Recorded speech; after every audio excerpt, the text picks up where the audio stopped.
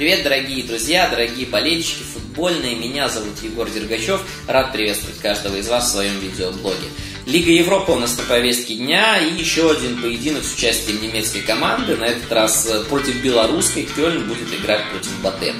Э, смотрел лично, редко я смотрю матчи Батэ, признаюсь вам честно. Живя в Минске, я ни разу не был на Борисов арене, все надеюсь, что когда-нибудь это случится, но это лирика. Матч домашний Батэ с Кёльном я смотрел по телевизору, если честно, у меня вот выпадали последние волосы, когда футболисты Батэ не забивали в пустые ворота с двух метров. Как такое может быть, я не понимаю.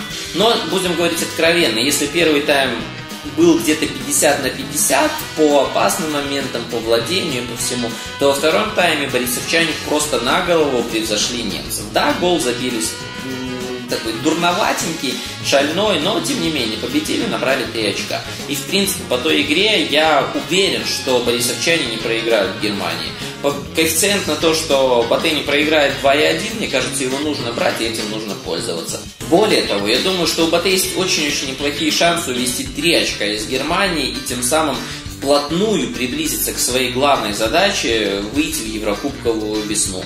Если вы со мной согласны с тем, что Батэ не проиграет, ставьте лайк и подписывайтесь на мой канал. В комментариях пишите свои варианты прогнозов на матч Кёльн-Батэ. И, дорогие друзья, вступайте в мою группу, добавляйтесь ко мне в друзья. Ссылочки на обе страницы вы найдете в описании у этого ролика.